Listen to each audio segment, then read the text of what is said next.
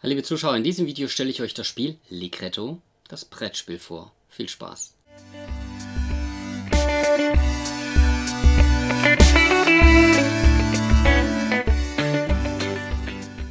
Und damit herzlich willkommen zur Spielvorstellung von Ligretto, das Brettspiel von Rudi Bieber. Das Ganze erschien bei Schmidt.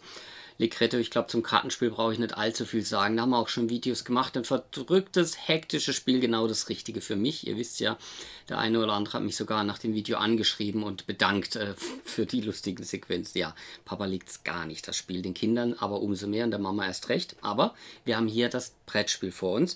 Es ist für zwei bis vier Spieler ab acht Jahre. Kann man durchaus auch für Jüngere spielen, wenn ihr schon ein bisschen Ligretto erfahren seid. Und geht 20 Minuten, ist auch ein Hektikspiel. Und genau das möchte ich euch jetzt in diesem diesem Video erklären und abschließend gibt es dann auch ein Fazit. So, das erste fällt schon auf, ja, das Brettspiel, es hat natürlich ein Brett, ein Puzzleteil, das wird zusammengepuzzelt, abhängig von der Spieleranzahl, größer, kleiner, jetzt wird sogar in Varianten angegeben, ihr könnt sogar ein bisschen in die Seite steuern, bleibt euch überlassen. Ich habe es jetzt einfach mal so standardmäßig aufgebaut und äh, die einzelnen Marker, die legt man einfach auf einen gewissen Punkt. Jeder Spieler hat äh, gewisse Teile, die natürlich farblich zueinander passen, äh, beziehungsweise nicht passen, weil man muss sie nachher anlegen. Und die haben Linien. Das heißt, der müsste darauf schauen, dass er am Anfang das Material schön trennt. Ich habe jetzt hier Doppellinien und ich nehme alle Kärtchen, wo so Doppellinien drauf sind. Auch die beiden Joker und auch hier dieses Ablageteil. Das heißt, diese Kärtchen nehme ich, mische sie, lege sie von mir ab oder ich nehme sie einfach auf die Hand, weil später ziehe ich hier immer Plättchen runter und lege die dann an. Ähm, kann der eine oder andere so oder so spielen. Klar, bei Karten nehmen wir es immer auf die Hand. Ihr könnt es aber auch hier spielen. Und die zwei Joker lege ich nebendran. Die Punktechips auch in Griffweite. Was muss man denn überhaupt machen? Ich glaube, der eine oder andere, dem ist vielleicht klar, äh, wenn man das schon sieht. Eigentlich erklärt sich schon fast allein, weil ich ziehe ein Kärtchen. Und das Kärtchen, das muss ich jetzt irgendwo passend anlegen hm, da passt es nicht. Was heißt hier passend anlegen? Das heißt, jetzt muss ich ein bisschen tricksen, damit man das auch hier hinbekommt. Das heißt, ich schaue, wo kann ich das Plättchen anlegen. Und es muss zu einem Stein passend sein. Das heißt, hier würde es passen. Den Stein ziehe ich dann auf dieses Feld.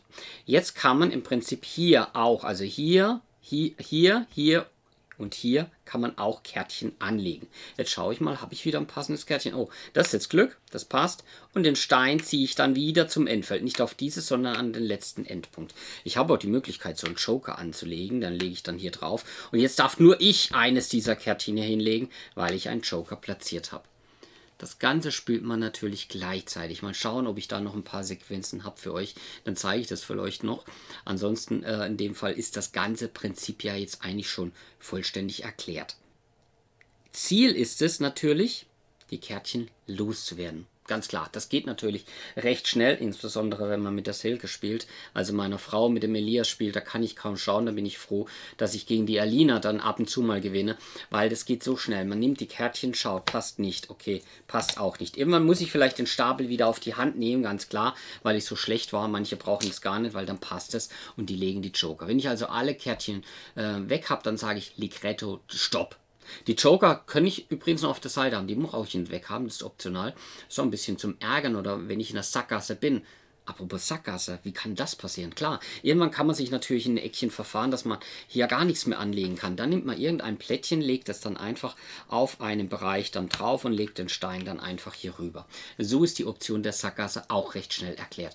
Also ein Spiel, ideal für Gelegenheitsspieler, das sich selber selbst erklärt und äh, der Schnellste, der benimmt sich natürlich die Punkte, zwei Punkte.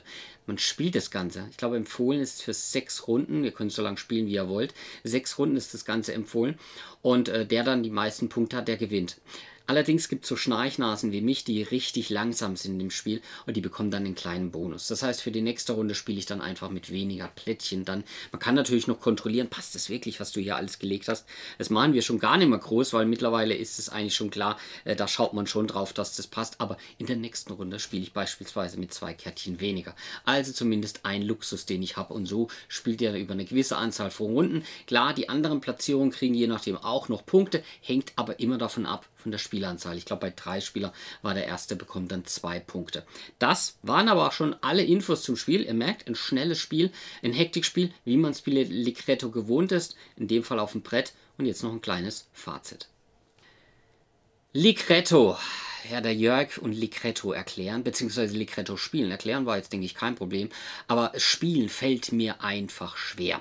Äh, ich muss sagen, ich bin ja kein großer Ligretto-Fan. Ich wollte es euch aber auch vorstellen. Geschmäcker sind verschieden und ich weiß, dass sicherlich einige Ligretto-Fans auch hier zuschauen.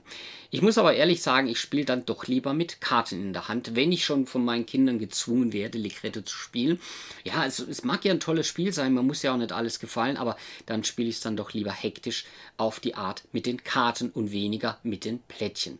Natürlich kommt man sich hier in die Quere, teilweise nervt mich das abhängig von der Spieleranzahl, weil alle haben hier ihre Hände parallel im Spiel und ich kann schon gar nicht mehr gucken und wenn ich schon meine Plättchen ausspiele, dann ist es schon wieder weg. ist aber beim Kartenspiel genauso. Hier stört es mich einen Tick mehr, aber ich wollte es an dieser Stelle nur erwähnen. Das kann vielleicht dem einen oder anderen vielleicht ein bisschen stören, was den Bereich dann angeht.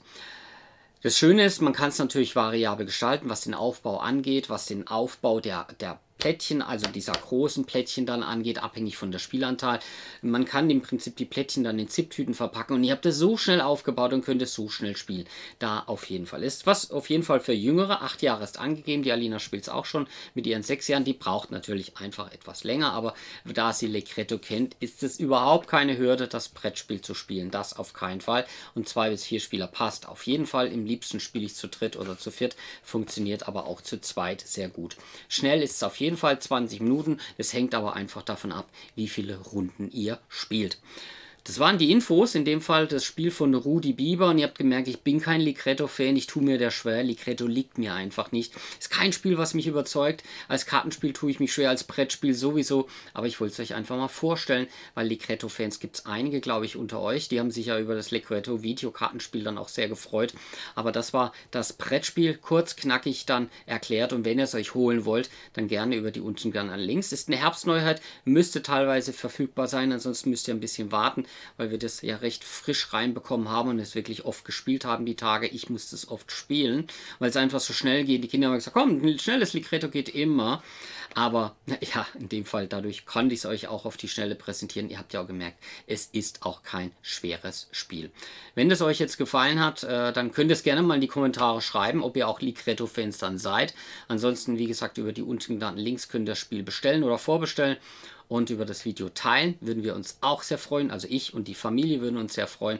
Und wie gesagt, Daumen, Abo wäre auch super. So viel zum Thema Werbung. Jetzt sage ich aber Tschüss, danke fürs Zuschauen und macht's gut. Bis bald.